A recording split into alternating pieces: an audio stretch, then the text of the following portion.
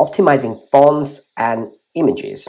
Okay, so fonts play a significant role in the design of a website. But using custom fonts in your project can affect performance if that font's custom font needs to be fetched or loaded. For example, you want to use a Google font. And Google font, you know that you have to import that one with a link. You can do it through CSS or you can do it through a meta tag link in the HTML.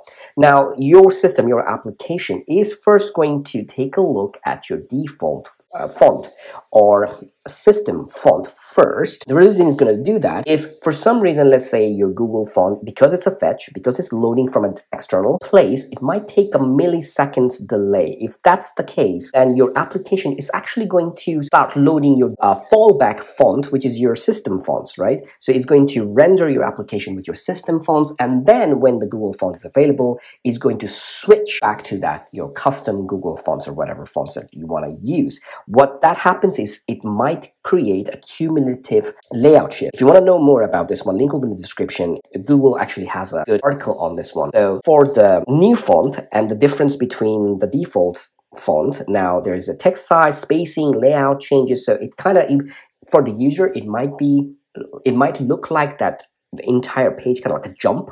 So those kind of situation that you don't really want for your users to experience. So it's better to Instead of fetching your font from an outside, we are going to deploy the font our custom font with the application itself. So next uses next slash font module. It downloads the font files at build time and hosts them with our static assets. This means when a user visits our application, there are no additional network requests for fonts which would impact performance. Let's add a custom Google font to our application to see how this works, okay? So let's go back to our UI. We are already here. Let's create a new file called fonts.ts. So let's go ahead and create this fonts.ts file. And um, we will use this file to keep the fonts that will be used throughout our application. And it's going to be in curly braces. We're going to say Inter that's the font. Uh, it's going to come from next. And uh, next, we want it to font. And it's going to come from Google. And here, we are just going to export a const. Inter is equals to, we're going to make this, make use of this one. It's going to take an object and it's actually going to take a subset. So the subset is an array. So Latin. This is an array, array because you can add uh, more subsets if you want. Now let's use this to our root level because this is the font that we want to utilize uh, on our all over application. Just like our global CSS, we are going to come here and import in the root layout and uh, we are going to just get the Inter which we just created. And here in our body, we are just going to go ahead and do a class name. That's how you utilize your custom fonts using class name. It's going to be a JavaScript curly brace, and we are actually going to, you can directly write this Inter dot class name and save it. It's going to work. We also want to add, uh, because you are using Tailwind, right? Tailwind has a nice class called anti-aliased which smooths out the font. It's not necessary. We're gonna we're gonna just use it. So in in order for us to use it, let me go ahead and uh, cut this and open a template string. We are going to use this as a variable. So let's put it here and then add in. All right, now let's go back to our application and let's go ahead and inspect this one. And as you can see here, the font family is inter right here for the body.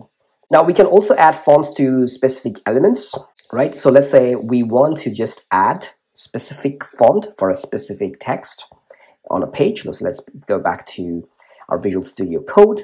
We are going to go to uh, the fonts file here and let's add another all right, so let's take a look at this one. This is also we're going to export because this is a different file we want to use. This is a specific use case.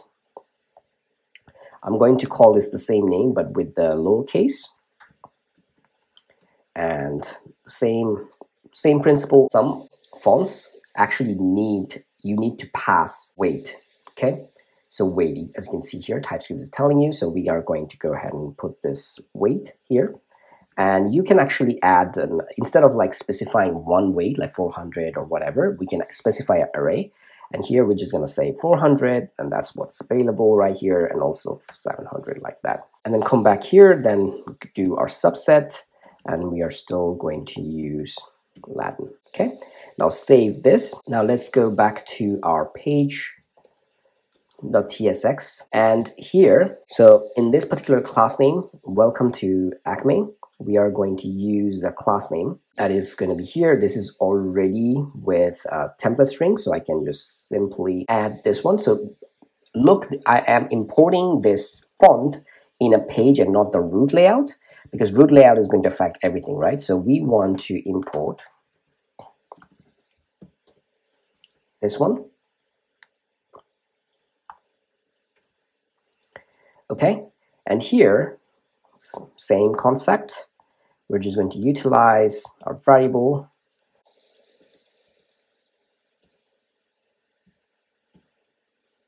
Let's go back to this is now a different font. That's how you optimize your fonts. It's pretty easy. So let's close all this and then let's talk about the Acme logo. So let's talk about the image optimization part of this. So let's go back to our page.tsx and here, as you can see here, uh, it's a comment out, an Acme logo, and um, comment this out. There you go. As you can see here, Acme logo now appears. Now let's talk about optimizing images. So why do you want to optimize images? Next.js can serve static assets like images under the top level uh, folder called public, as you can see here. All right, files inside public can be referenced in our application, okay? With regular HTML, we would add an image as follows. So if it's, this is an example, right? We'll add just like this one, right? We're gonna have a source, we're gonna have, let's say, hero.png, and then an alt tag, screenshot of um, dashboard, something like that. This is how you're going to utilize your HTML image tag. In our application though, there's no there's no issues with this one. You can utilize this one, but it's not optimized. You have to optimize your images manually yourself. But Next.js actually gives you an option, an image component from next slash image. So the image component does pretty much a lot of things that preventing layout shift automatically when images are loading, resize images to avoid shipping large images to device with a smaller viewport, lazy loading images by default, image load as they enter the viewport, and serving images in the modern formats like WebP and AVIF when the browser supports it. So a lot of things that you would have to do manually, it does that for you. Now, granted, these optimizations comes uh, with a price if you're installing this one to Vercel, you do have to pay, I think, at certain after a certain point for this image uh, optimization. So keep that in mind. So let's go ahead and add a desktop hero image. So if we look inside the public folder, you see there are a couple of images. One is the hero desktop.png, this is our desktop, and then hero mobile, this is what it looks like here. Now, these two images are completely different and they will be shown depending if the user's device is a desktop or a mobile. So in our application, let's go back to our page.tsx. Let's close this. Import the component from next images. So let's go ahead and import this one. So what we want to do is import image from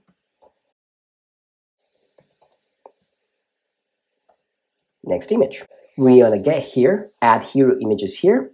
So let's go down and then we are just going to open up. This is actually works exactly like and native HTML image components. And then here it's gonna take some properties, just like your regular native image tag. It's gonna take a source, and here we wanna do, actually we don't need the curly braces here. We can just say hero dash desktop dot png it's giving you an error because it's actually telling you must have an alt prop do this So we want to do this image. If you're using this image component from Next.js, they want you to use width and height.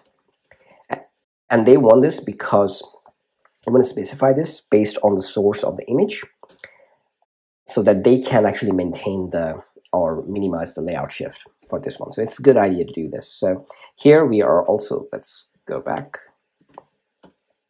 give a class name. Now this is a Tailwind class name. What we want to do is we want to say that on the mobile, we're going to say hidden, but on the desktop, we want to say should show as a block, okay? And then let's do the alt, and it's going to be screen shots of the dashboard project showing desktop version. Okay, so let's go back to our application now. Let's see how it looks. And it does give us an error. Okay, unhandled runtime error, failed to parse source hero desktop PNG on next image. If using relative image, it must start with a slashing. Uh, it's basically saying that it, there has to be a slash here, which make, all right. There you go. Now let's go back to our application. Let's do the same thing, but with mobile device. So what we want to do is we want to just copy paste same image component. And here we want to just use mobile.